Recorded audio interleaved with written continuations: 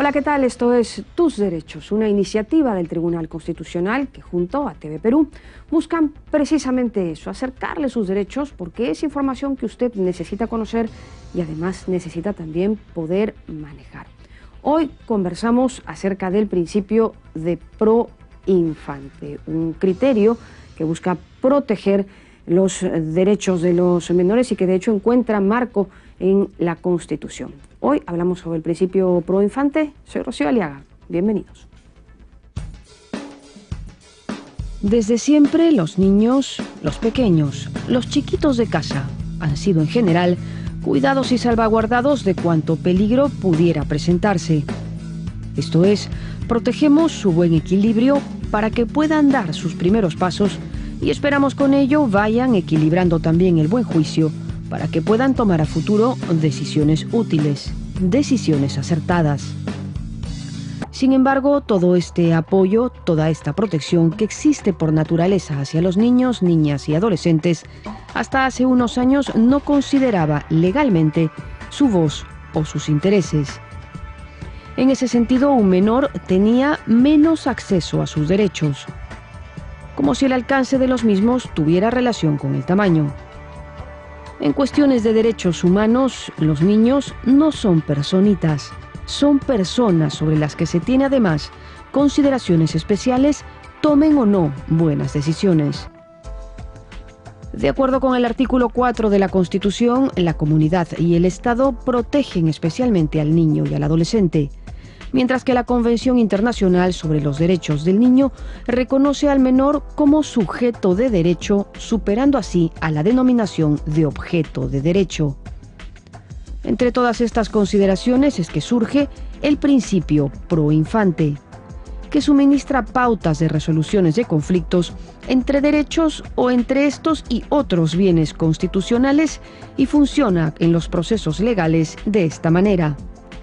Ante un conflicto que involucre derechos de los menores y otro tipo de derechos o intereses constitucionalmente garantizados, el referido principio, el principio pro infante, predispone al juzgador la obligación de brindar prevalencia a los derechos e intereses de los menores, a no ser que existan razones poderosísimas y absolutamente necesarias que justifiquen el establecimiento de una regla de precedencia en sentido inverso.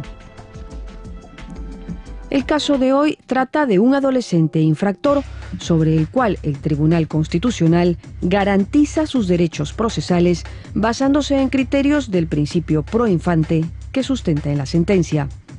El propósito es asegurar que los menores puedan ejercer los derechos fundamentales de carácter procesal. El TC determinó que estos criterios deben ser considerados como doctrina jurisprudencial vinculante por lo que todos los jueces y tribunales de la República están en la obligación de aplicarlos, incluso para los casos que se encuentren en trámite. Muy bien, y ese era el informe que siempre nos pone en contexto el tema, en esta ocasión, del principio pro infante, ¿no? Un criterio, eh, me da la impresión, creado para defender a los eh, más vulnerables, a los pequeños. Pero ¿qué pasa cuando estos pequeños en este caso este adolescente, se convierte en el agresor. ¿Rige también para ellos el mismo criterio? Felipe, buenos días. ¿Cómo te va, Rocío? Buenos días. Bueno, en realidad es la ley se aplica sin distinguir ante quién estamos. Eh, puede ser un adolescente infractor como puede ser un adolescente no infractor. En este caso estamos ante el primero de esos casos, alguien que fue sentenciado por un delito muy grave, el de violación de la libertad sexual, y ocurre que en un caso que llega hasta el Tribunal Constitucional, él interpone la apelación porque no está conforme con la sentencia que se le da en el fuero penal y le rechazan la apelación porque hay una discrepancia en cómo computar el plazo de apelación. Ya. Para unos, la apelación debe computarse desde que le leen la sentencia al menor infractor. Para otros es desde el día siguiente a que le han notificado de esa sentencia. Esa es una primera discusión. Y una segunda discusión es, ¿basta la notificación de la sentencia al menor o también tenemos que notificarle a su padre, al tutor y a su abogado? Entonces, en estas dos, eh, estos dos ejes temáticos es que el tribunal ha zanjado la discusión y ha establecido un, eh, una doctrina jurisprudencial vinculante que debe ser seguida por los jueces y tribunales de todo el país. Excelente, vamos a ampliar entonces esto en los demás bloques del programa. Nos vamos a ir a la pausa, pero regresamos en tus derechos para conversar respecto del principio pro infante. Pausa y regresamos.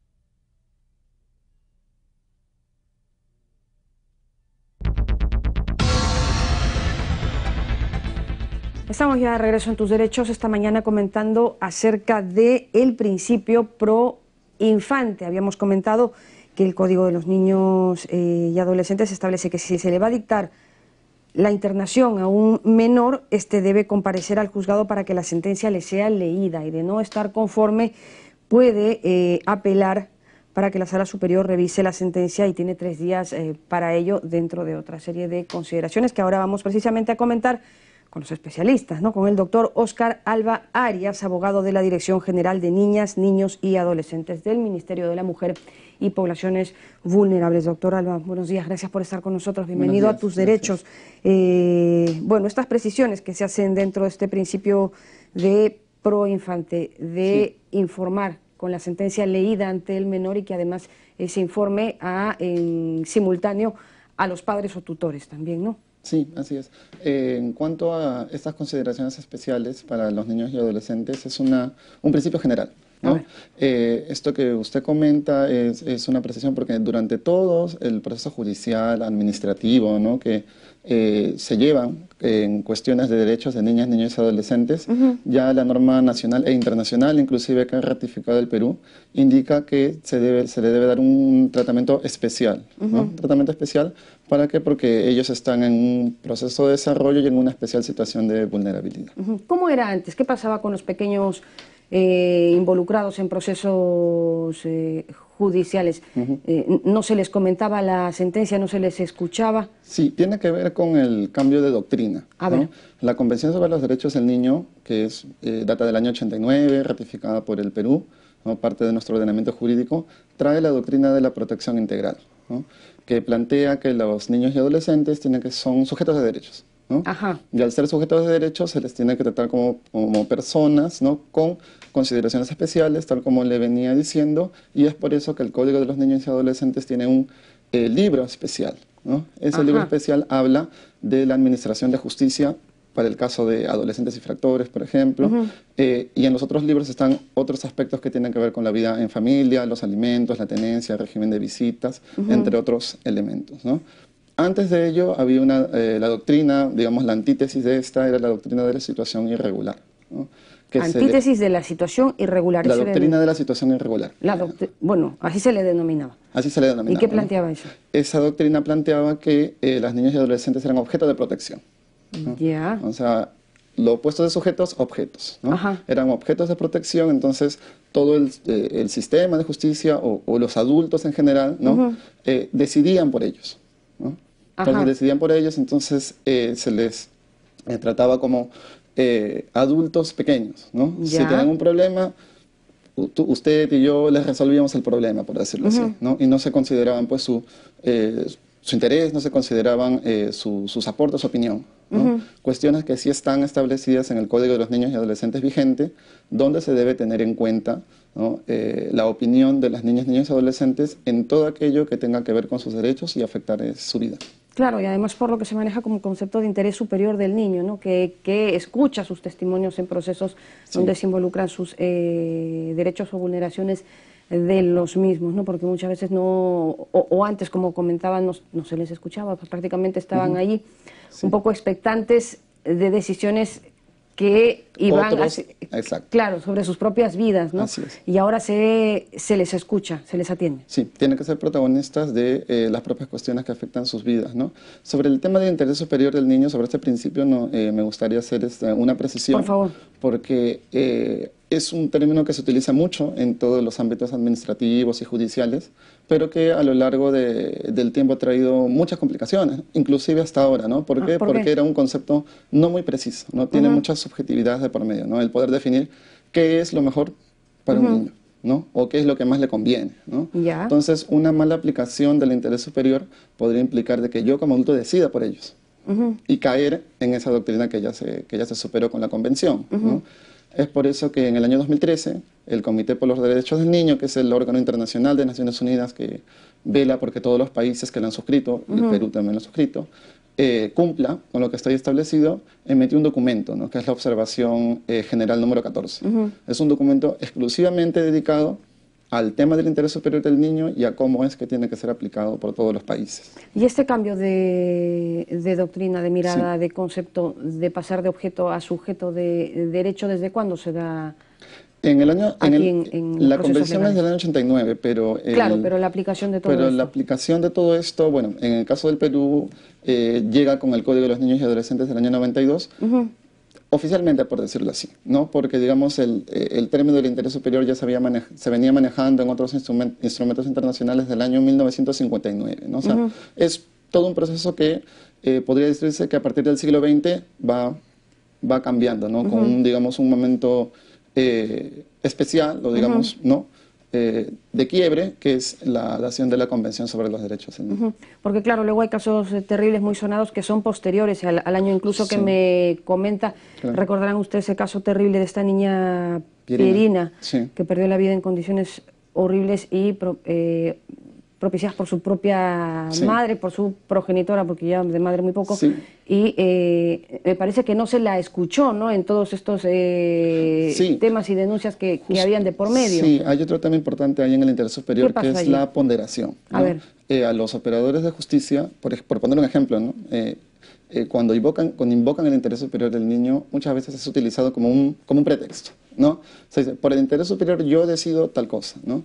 Pero una buena aplicación del interés superior del niño quiere decir que... ¿Qué decir el niño, claro? Claro, yo tengo que sustentar, ¿no? Hay un, ahí hay un conflicto, ¿no? En este, en este caso en particular había, estaba la integridad del niño porque habían algunos precedentes de, maltrato, estaba el derecho de la, de la, mamá a estar con su hija, el derecho del papá a estar con su hija, es decir, había, un, había una serie de derechos que estaban ahí este, en, en conflicto. Entonces, eh, el, el juez o la jueza en este caso tenía que decir, bueno, ante toda esta situación, frente a este conflicto de derechos, lo que más le conviene al niño adolescente es tal cosa que podría ser inclusive salir momentáneamente del núcleo familiar, ¿no?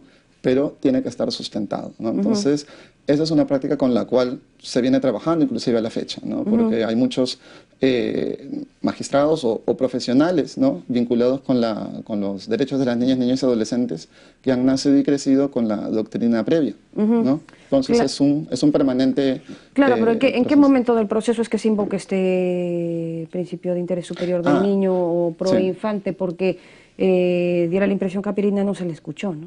Sí, eh, bueno, Pirina tenía tres años, pero en estos casos cuando, o, digamos, mientras menos años tienen los niños es más exhaustiva el sustento que tiene que dar el operador de justicia, ¿no? Porque un adolescente de 12, de 13, digamos, ya puede manifestar su, parecer de una manera más, más clara, ¿no? Pero mientras más, más cautelosos debemos ser mientras menos edad tienen los niños. Que es lo que estamos precisamente conversando, conversando y comentando esta mañana. Le agradecemos muchísimo, doctora, su participación esta mañana en Tus Derechos. Ha sido el doctor Oscar Alba Arias, abogado de la Dirección General de Niñas, Niños y Adolescentes del Ministerio de la Mujer y Poblaciones Vulnerables. Nos vamos a ir a la pausa en Tus Derechos, pero regresamos rapidito para seguir conversando acerca del principio pro infante. Pausa y volvemos.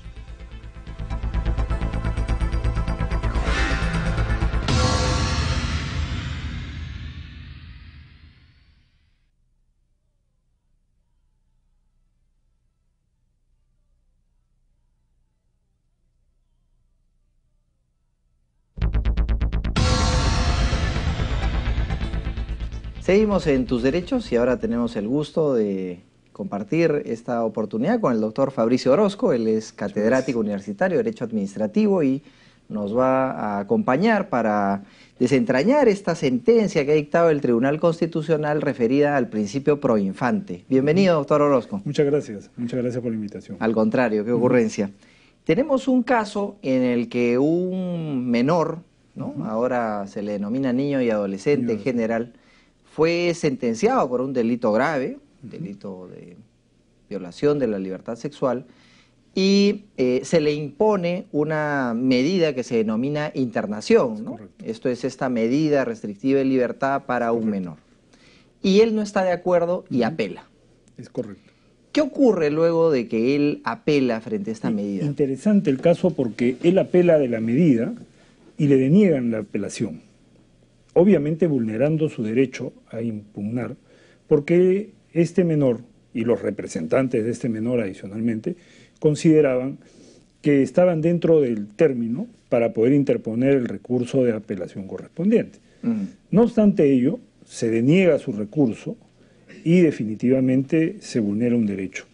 Y lo que busca luego este menor y sus representantes es eh, cautelar este derecho que tiene el menor, para que pueda obviamente impugnar la, la sentencia que ha sido dictada en su contra y definitivamente para que pueda acceder a ese derecho que tenemos todos los ciudadanos de que nuestras sentencias puedan ser revisadas en una instancia jerárquicamente superior.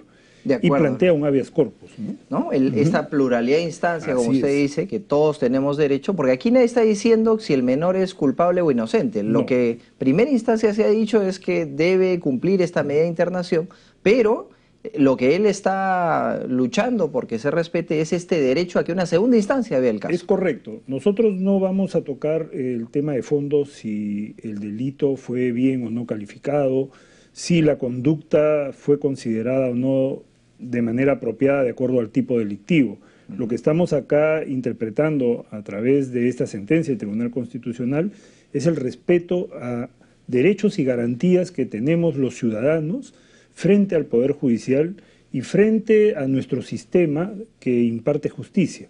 Y es por eso que en este caso tenemos un habeas corpus mediante el cual se busca que se cautele el derecho, y es casualmente este derecho consagrado en la Constitución que tenemos los ciudadanos a la pluralidad de instancias. Claro, y aquí el, eh, digamos, la controversia radica en desde cuándo se computa el plazo, porque él, el menor, interpone la apelación a los tres días de que se le leyó la sentencia que dicta la internación y cuando presenta la demanda le dicen, lo hiciste fuera de plazo. Es correcto. Eh, las normas establecen que cuando una persona es sentenciada, cuando a una persona le leen la sentencia, se tiene por notificado en ese acto.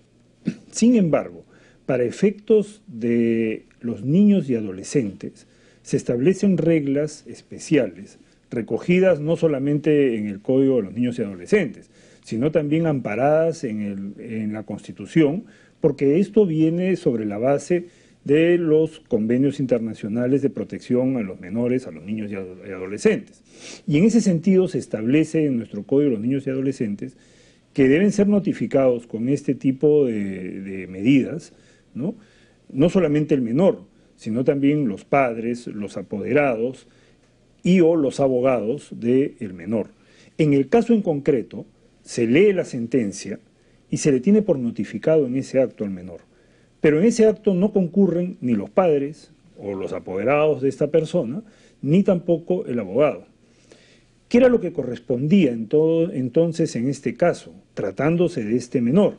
Era leerle la sentencia, pero adicionalmente a eso practicar el acto físico de la notificación, es decir, que la sentencia sea entregada en su texto como tal al menor, a los padres del menor o apoderados y a los abogados del menor. Hecho que no había sucedido. Y casualmente por eso es que empieza esta eh, discusión del cómputo de los plazos para poder entender desde cuándo podía interponer el recurso de apelación y cuándo vencía ese plazo. Claro, porque la posición del Poder Judicial es que leída la sentencia, desde ahí ya comenzaban a correr ah, los tres días. Correcto, se tenía por notificado en ese momento y desde ese momento empezaba a correr el cómputo del plazo para que eh, pudiera ejercer su derecho de impugnación o apelación en este, en este proceso. Y lo que el tribunal ha dicho es, no basta la lectura de sentencia, sino que además debe usted notificarle y el plazo comenzará a, regir al día siguiente de la notificación. Al día siguiente de la notificación, como, como empieza a correr cualquier acto, eh, mejor dicho, cualquier plazo, cuando somos notificados de manera física con la resolución. Acá no estamos hablando de una persona que sea eh, un ciudadano de segunda categoría o de un discapacitado. Estamos hablando que el niño y el adolescente es una persona, pero adicionalmente es una persona especial, con protección especial por parte de nuestro sistema.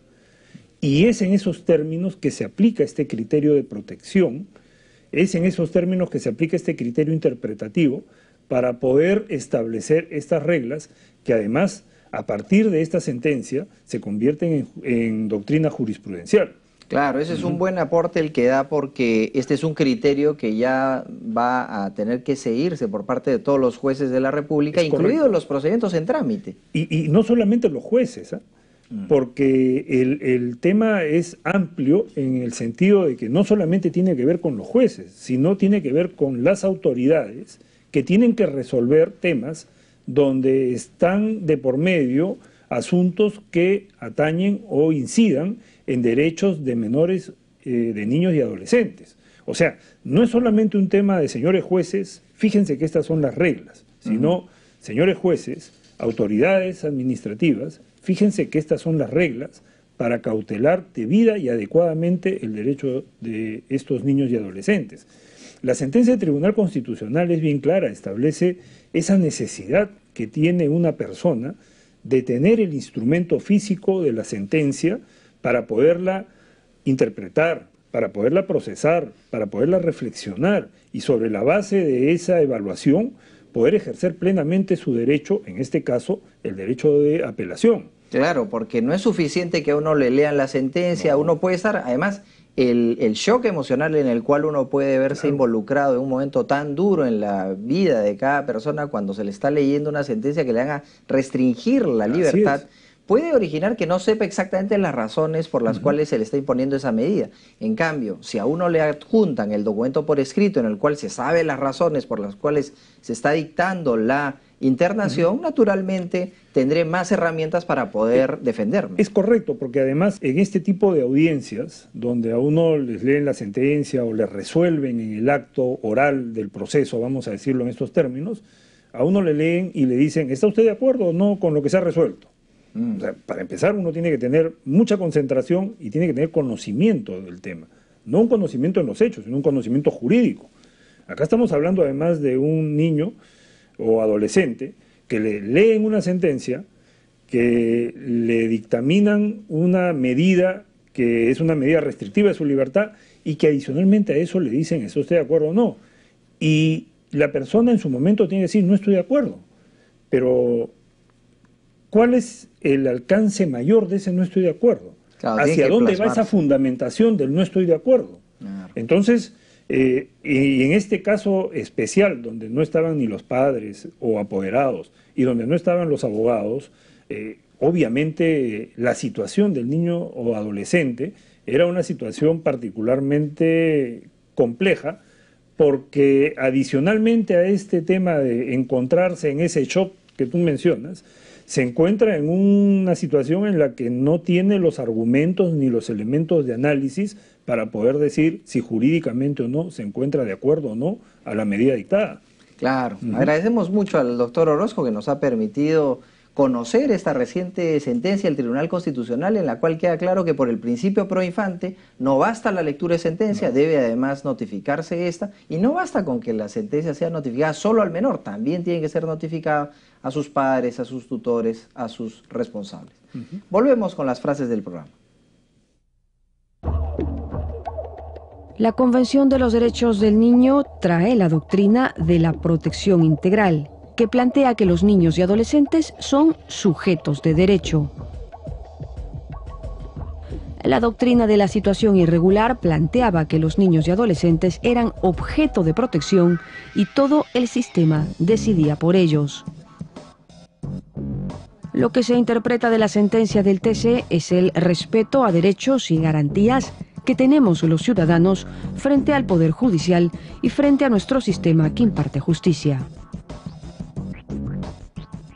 Esas eran las impresiones u opiniones de los invitados de nuestro programa hoy.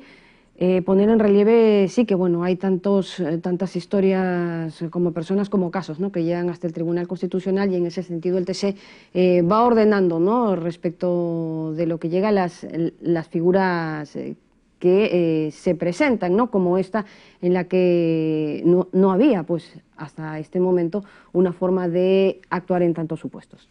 Sí, el artículo 219 del Código de los Niños y Adolescentes establecía qué hacer frente a la mm, apelación que se interpone en la audiencia correspondiente y disponía que el plazo corre a partir de la lectura de sentencia, pero la redacción del artículo podía prestarse a, numerosas interpretaciones. interpretación. Entonces aquí se ha interpretado conforme a la Constitución. ¿Qué significa esto? Que el, Tribunal Constitucional ha interpretado ese artículo del Código de los Niños y Adolescentes y lo ha hecho en base al principio pro infante. Esto es que si hay duda de cómo puede interpretarse una norma y hay el suficiente sustento en la literalidad de la norma, se le da la razón al infante. En este caso lo que se ha dicho es, muy bien, en primera instancia, la notificación corre a partir del día siguiente en que te han notificado la sentencia, porque no basta que te enteres que eres culpable y que te interna en un centro de diagnóstico juvenil. No, tienes que saber por qué te han eh, sancionado para que tú puedas válidamente apelar. Ese es un primer punto. Y un segundo punto es que tampoco es suficiente que notifiquen al menor, porque por el principio pro infante se entiende que sus derechos están más y mejor regulados si es que también sabe de esta decisión su abogado, su tutor, su padre. Entonces lo que ha dicho el tribunal es, si la notificación no es simultánea a todos estos, comenzará a correr a partir de la notificación al último de ellos, incluido el menor. Y así se garantiza de mejor manera los derechos del niño y del adolescente. Claro, clarísimo. Entonces, con eso llegamos al final, nos vamos, pero ahora comentándoles además que, bueno, ya que estábamos hablando un poco del infante que tiene que ver eh, con la familia o está involucrado en la familia, este jueves 5 y 6 de noviembre, para quienes estén interesados en la UNIFE, se va a realizar este evento, debates en torno a los nuevos paradigmas del derecho de familia. Van a tocar de, bueno, diversos temas, la constitucionalización del derecho de familia, la indemnización en el divorcio, es importante, el divorcio incausado, la crisis del concepto de culpa. Este jueves 5 y viernes 6 de noviembre en la UNIFE debates en torno a los nuevos paradigmas del derecho de familia. Como siempre les recordamos también que cualquier comentario o sugerencia que tengan nos lo hagan llegar a través de nuestras cuentas en las redes sociales. Continúa en TV Perú, mucho más que ver. Chao, chao.